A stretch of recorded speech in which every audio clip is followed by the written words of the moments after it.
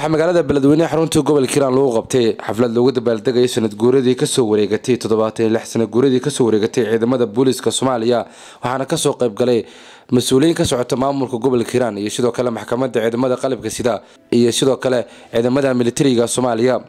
Ku-xigeenka maxkamadda ciidamada qalabka sida iyo sidoo kale taliyaha guutada shanaad oo goobta ka hadlaya waxay u hambaliyeen guud ahaan ciidanka booliiska soomaaliya. Mudana guddoomiye anigoo adiga kugu halqabsanayo ciidankan booliiska gaar ahaan ka howlgala hiiraan waa ciidanka keliya ku shaqayn karo iyagoo aanan mushaarna qaadan garaamna qaadanin dabna aanan u shidin ay ugu bedelan yihiin ciidamada kale ee qalabka iyo deegaankan jooga. Taa iyada ah ma ahan mid la odhanayo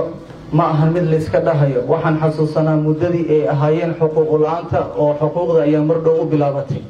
Taa iyada ahna way ku ammaanan yihiin. Waxaan rabaa haddii aanu nahay maxkamadda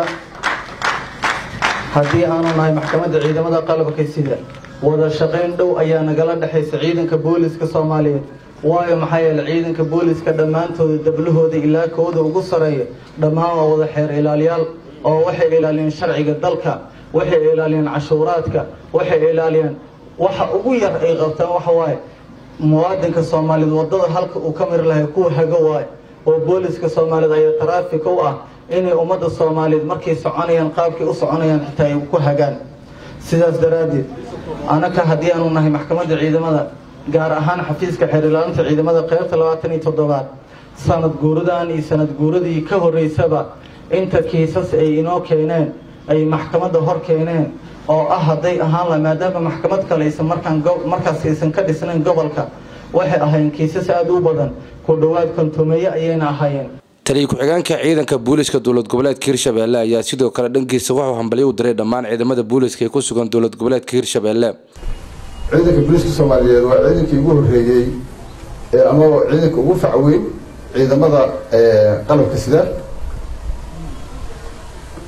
waxaad ka garan kartaa waktiga la saasixtaa wuxuu ka horreeyey xornimadii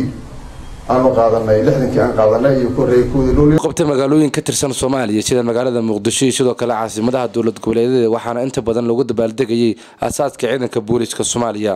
Mohamed toone ciilaaw wararka telefishinka star hargeysa